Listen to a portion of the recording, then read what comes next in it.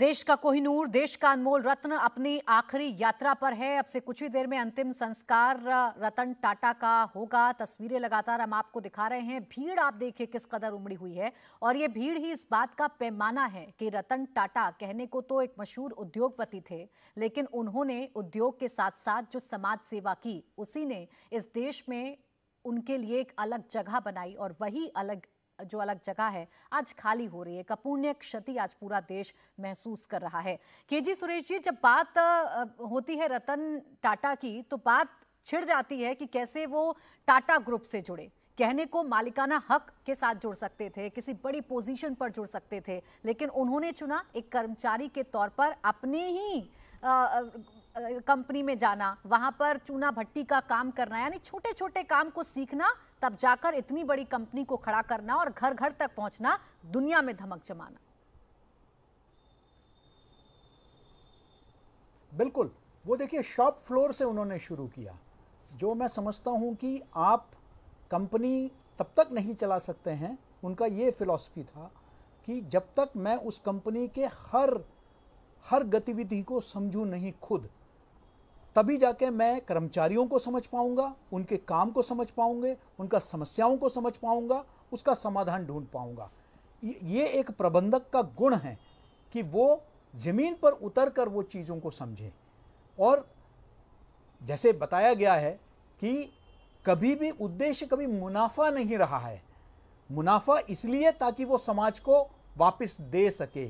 इसलिए कभी भी आप देखेंगे जब खरबपतियों की, अरबपतियों की जब सूची निकलती थी तो कभी भी टाटा का नाम उसमें नहीं आता था जबकि आम आदमी के हृदय में, आज से नहीं, पिछले कई दशकों से, जब आप देश के रईसों की बात करते थे तो आम लोगों के ज़ुबान पर आज भी टाटा बिरला है लेकिन उसके बाद कितने रईस आए लेकिन वो इसलिए था क्योंकि चाहे वो इन दो परिवारों ने। चाहे स्वाधीनता संग्राम हो या धर्म का कार्य हो, इन्होंने मात्र समाज को वापस भी उतना ही दिया है जितना उन्होंने जो है एक व्यवसाय के अंतर्गत कमाया। तो महात्मा गांधी जी कहा करते थे कि जो भारत के जो उद्योगपति हैं, वो हमारे देश के संपत्ति के न्यासी हैं। They are the trustees of our wealth तो वाकई वे न्यासी के भूमिका में रहे और कितना दे सकते हैं? आपको ताजुब होगा सुनकर। उन्होंने बड़े बड़े फंडिंग कॉर्नल यूनिवर्सिटी को दिया कैलिफ़ोर्निया यूनिवर्सिटी को दिया हार्वर्ड को दिया। लेकिन अगर आप उसकी डिटेल में जाएँगे तो आपको पता चलेगा कि वो कहते थे कि चाहे वो मेडिसिन के क्षेत्र में शोध हो तो भारत को कितना लाभ मिलेगा, भारतीयों को कितना लाभ मिलेगा।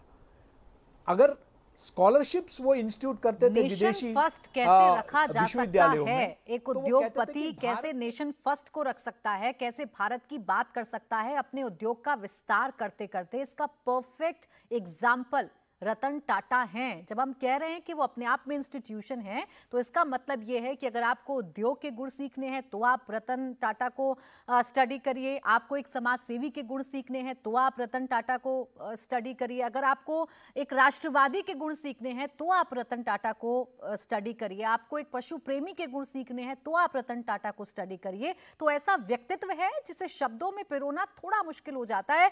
रतन शारदा जी, जब हम राष्ट्रवादी उद्योगपति की बात करते हैं तो उनकी बात मुझे याद आती है कि इस देश को मुझे इकोनॉमिक पावर नहीं बनाना। मैं चाहता हूँ कि भारत एक खुशहाल देश रहे। ये सोच थी रतन टाटा जी की।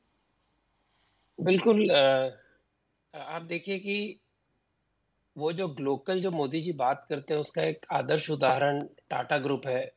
मेड इन इंडिया भी किया, मेक इन इंडिया भी किया, और न केवल बड़े बड़े एमएनसी पाश्चिमात्य एमएनसी को उठाकर भारतीय किया बल्कि अपने भारतीय एमएनसी भी खड़े किए हैं।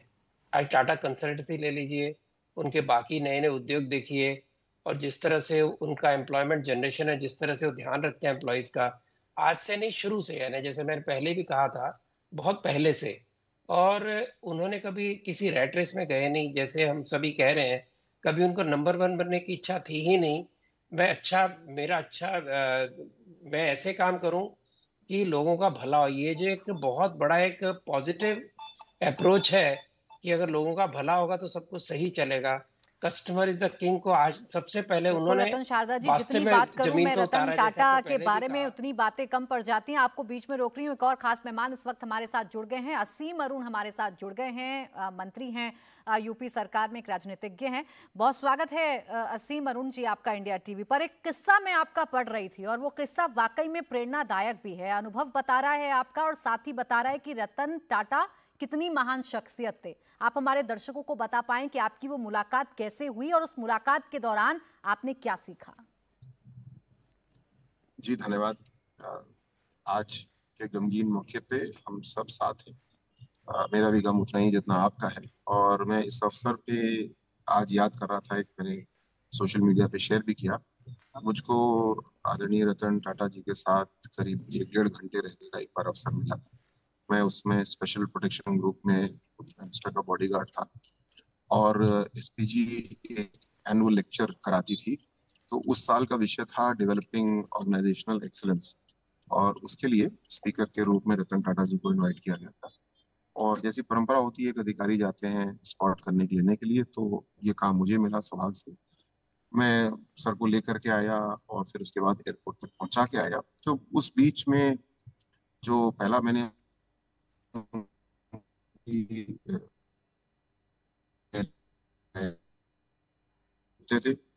प्रेसिडेंशियल स्वीट में नहीं, एक सामान्य कमरे में रुकते थे। कोई उनके लिए विशेष सुविधा नहीं होती थी। जब उनको गाड़ी लेके चला तो एक बहुत पुरानी 1960 की शायद मॉडल की मर्सिडीज होगी। और ड्राइवर भी साहब भी बिल्कुल साठ साल के कम से कम थे वो। और कोई सिक्योरिटी नहीं, कोई उनके साथ पीआरओ या कोई सहयोगी कोई नहीं। अपना काम स्वयं करते थे मैंने पूछा सर आपके साथ सिक्योरिटी नहीं है तो बोले मुझे कोई खतरा नहीं किसी से सिक्योरिटी क्या ज़रूरत? तो मैंने पूछा कि आपके साथ कोई होगा जो आपके फ़ोन सुने जो आपके मिनट्स लिखे मीटिंग के कोई आपको अपॉइंटमेंट याद रहे बोले नहीं ये सब काम मैं अपने आप स्वयं ही कर लेता हूँ और मुझे किसी की तो आ, मैं बड़ा और ये भी सीखने वाली बात थी कि कितना सादगी पसंद व्यक्ति जिस, जो इतना बड़ा ग्रुप संभालता है, पैसे वाला भी है, लेकिन पूरी तरह सादगी के साथ चलने वाला और काम अपना बिल्कुल उच्च कोटि का करके देने वाला हम्म। यही जो सामान्य जेस्चर है, इतनी उच्च पद्धति पर बैठा हुआ शख्स, इतनी कामयाबी हासिल करने वाला शख्स जब इतनी सरलता के साथ जीवन जीता है तो असीम जी ऐसी ही छाप छोड़कर जाता है जैसे आपके जीवन पर छोड़ी या उनको जानने वाले, न जाने कितने करोड़ों लोगों के जीवन पर उन्होंने छोड़ी होगी। शुक्रिया आपका असीम जी हमारे साथ जुड़ने के लिए, बताने के लिए रतन टाटा जी के बारे में। तो देखिए, रतन टाटा पंच तत्व में विलीन हो चुके हैं।